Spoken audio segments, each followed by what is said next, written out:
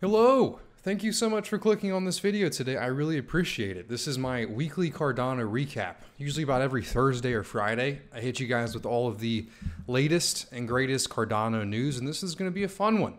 We're going to be talking about the DJED stablecoin. It's a new paper released by IOG. Charles tweeted about it the other day. We're actually going to take a little bit of a, a little deep dive, a little overview of it. I'm excited to talk about that. Also, Alonzo White is here. The hard fork has happened and the hard fork is now allowing people to use smart contracts on the testnet. So we're going to be taking a closer look at that. Uh, we're also going to be talking about, you know, the to the full extent of, you know, your capabilities in the Alonzo White testnet. What can you do right now? You know, we're going to be jumping into that today because I actually am a part of Alonzo White.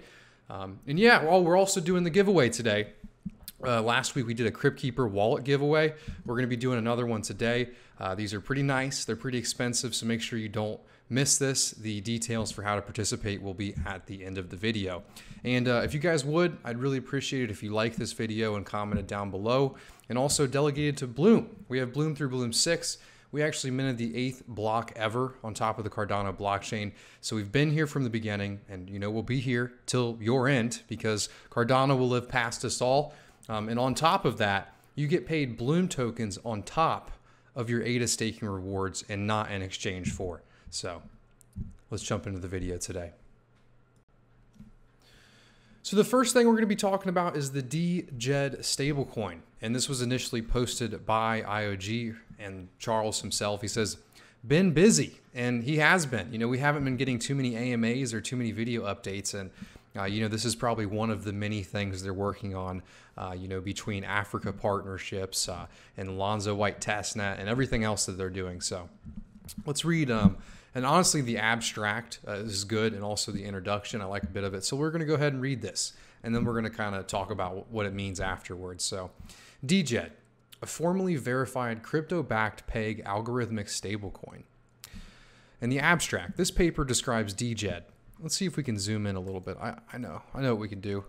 We're gonna have to open it in a new tab for you guys. Open image in a new tab. There we go. Beautiful. Don't say I ever forget about you guys. So this paper describes DJED, an algorithmic stablecoin protocol that behaves like an autonomous bank that buys and sells stablecoins for a price in a range that is pegged to a target price. It is a crypto backed in a sense that the bank keeps a volatile cryptocurrency in its reserve. The reserve is used to buy stablecoins from users that want to sell them, and revenue from sales of stablecoins to users are stored in the reserve. Besides stablecoins, the bank also trades the reserve coins in order to capitalize itself and maintain a reserve ratio significantly greater than 1. To the best of our knowledge, this is the first stablecoin protocol where stability claims are precisely and mathematically stated and proven.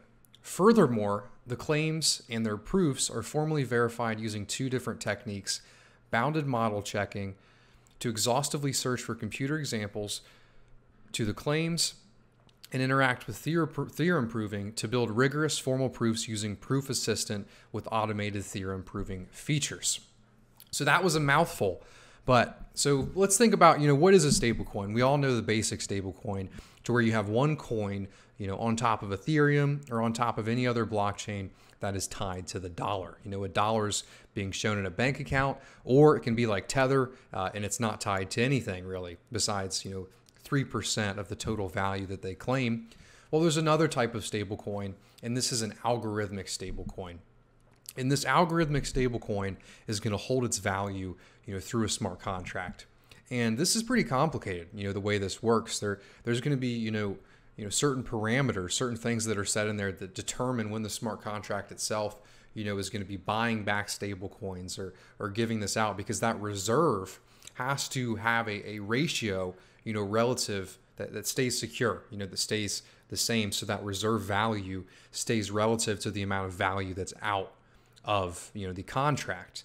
And um, you know, I'm really happy to see them actually working on this paper because this is just the first you know step of this. You know, this is like the real long-term thinking that I love about Cardano and that I love about IOG, is because with Plutus and it being a formally verified language, you know, they can actually write these papers and mathematically prove it and then write it into code and then actually have a smart contract that can't be broken. You know, imagine a time, and this is going to be coming soon, sooner than we all think that, that we can actually just interact, you know, with a smart contract that has been proven, you know, through these papers and is now written to where it can just act as a bank, you know, where we submit some of our ADA in there or maybe a stable coin in the country that we're in, and that pays us back a real interest rate. And then, you know, maybe we can take out loans on that value. And, and it, we know for sure that it's verifiably secure. You know, and that's one of the biggest advantages that Cardano offers is this is, you know, a, a real push towards, you know, science and, and rigor in the cryptocurrency space. You know, there are a lot of people doing great things and a lot of great projects on Ethereum, um, but having Plutus and being able to, you know, write verifiably, you know, verifiable contracts, uh, it's it's incredible. Um, and and that's what this is. You know, this is the first you know verifiably proven stablecoin, uh, and it's going to be on top of the Cardano blockchain, and that's awesome and it just gets me so excited and so curious. You know what what other you know contracts uh, and you know financial services that you know will be created on Cardano that are new to this world that have never been created before because of what Cardano offers. You know, this is a real step forward in the space. You know, and with Goguen coming out very shortly, we're going to be talking about Alonzo White in just one second um, man, I have to say I'm excited about all of this. Uh, if you guys are excited uh, about this stablecoin, type in D- DJED down below and let me know. Um, I did want to read this too. Uh, with the narrowest sense of stablecoin and cryptocurrencies at its price peg, so this is what we were mentioning earlier, and fully backed by reserves denominated in some fiat currency. More broadly, a stablecoin can be defined as a digital asset that has mechanisms to maintain a low deviation of its price um, but look right here. So we were talking about Ergo in my live stream earlier this week, and I said they have a small place in my heart because the the extended UTXO format. And I do believe there is going to be some value in proof of work in the future, you know, for certain niche use cases like you know proving proof of work, etc. So they they actually mention, you know, we would like to thank Alex Alexander Chepurnoy uh, and a few other names. Nicholas uh, Arqueros, too, that was from Emurgo, and then Robert Kornacki. Uh, they actually left and started another company called DC Spark, which I'm very bullish on, man. Uh, Nicholas, Sebastian, and Robert are all great minds, you know, so. And they're, they're thanking them for the discussion of the stablecoin protocol for its implementation on ErgoScript. And we are grateful to the Ergo community for deploying this implementation on the Ergo blockchain.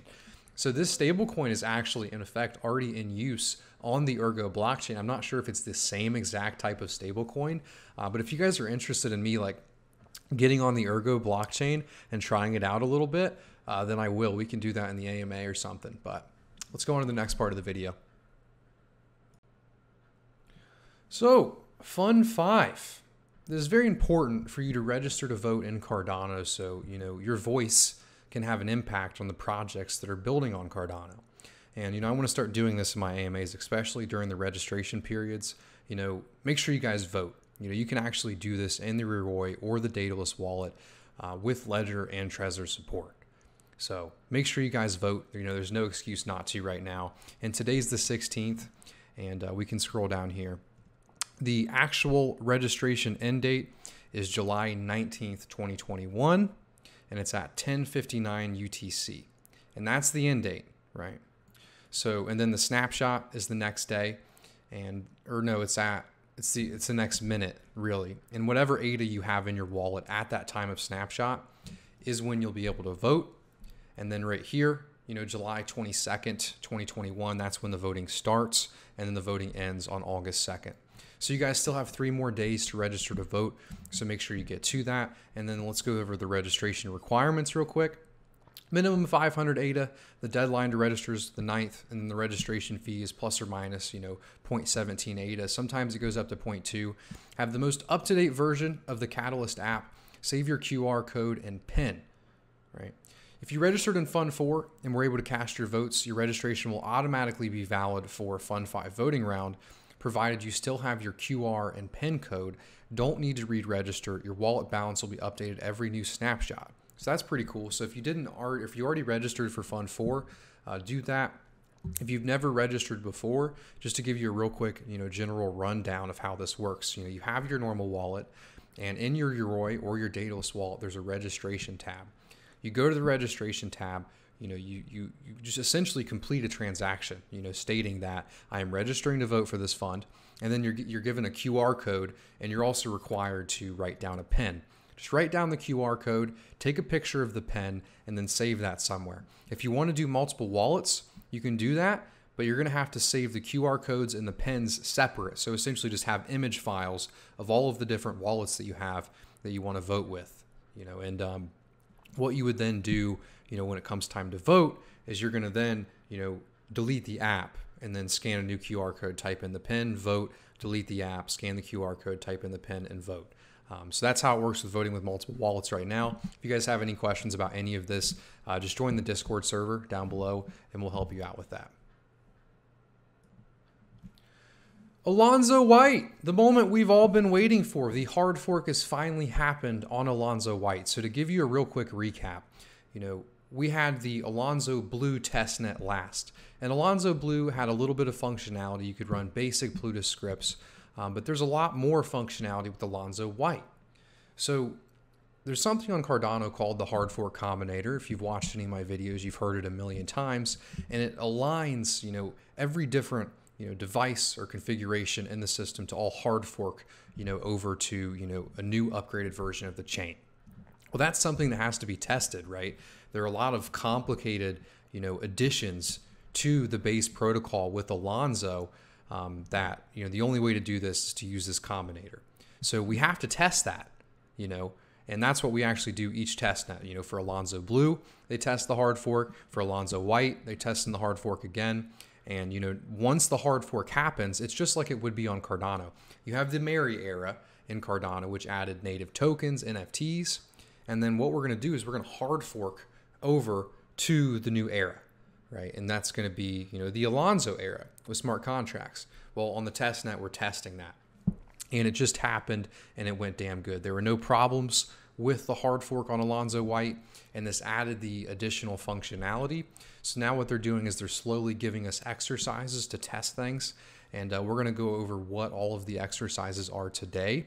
And then I want to let you guys know that if you do uh, want to be a part uh, of these exercises and know what's going on, just subscribe um, and then you know follow my videos. The notification bell and click all make sure you don't miss them. But on the ama on monday at 3 p.m eastern standard time we're actually going to be running a plutus smart contract live.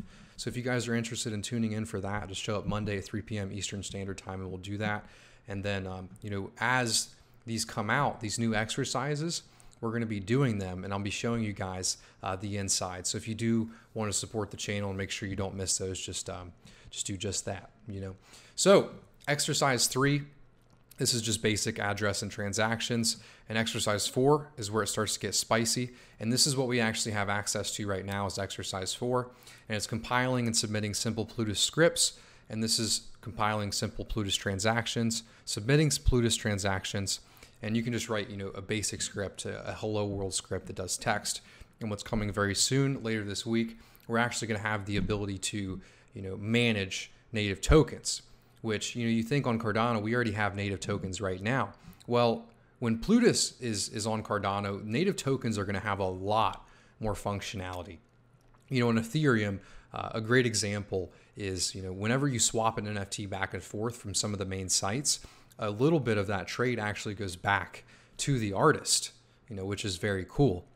So little things like that, or there's a lot more functionality coming to native tokens. And the next exercise that we're going to be getting very soon is actually going to allow us to try out some of those. And again, we're going to be doing that on this channel when we have the ability to. And then you can see the difference right here. So minting tokens using the Mary era forging scripts, which is what we have now, and then the Plutus forging scripts, which is where you know, we get to add a lot more to them, which is very cool. And then time-based scripts too, which is awesome. Um, and then minting NFTs. So exercise six, it's dApps. Building more substantial dApps and integrating with external events. So this is very cool. This is when we're going to have the ability to swap. I'm definitely going to have a video of me swapping some tokens on Cardano. Integrating with the wallet, This is just going to be using the Cardano wallet CLI and using transactions with Plutus scripts using the CLI wallet, and then some more simple dApps using the wallet CLI. And then uh, each of these exercises also have sub exercises. So for the dApps example, I'm sure we're going to have a couple different options, maybe some liquidity pools, maybe some swaps. But yeah, that is the video for this week. So if you guys have any questions, feel free to comment them down below. And then, of course, the Crypt Keeper giveaway. Let me actually pull that out real quick. I want to show you guys what it actually looks like so you can be excited for it. So, these Crypt Keepers, I love them myself. This is, they actually protect your wallet keys from fire or water damage. You know, your mnemonic phrase, if your house burns down, if you get flooding damage, you know, that paper is going to get messed up. So what you can do to further back up your Trezor, your Ledger, your Yoroi, your Daedalus is you buy one of these or you win it in this giveaway today. And what you can actually do is in the metal, you know, punch in the metal. And that allows you to back up that mnemonic phrase and then what you actually have to do to enter the giveaway today is like this video, comment down below, and then join the Discord server. Once you're in the Discord server, you're going to have to verify, you know, your identity, not your identity, but you know that you're a real person with a captcha. And then you're going to go to the Bloom Dash Tokens tab. And then in the Bloom Dash Tokens tab, you're going to see the, you know, the weekly Crypt Keeper giveaway right there. So then just react with the confetti symbol and you'll be entered into the giveaway.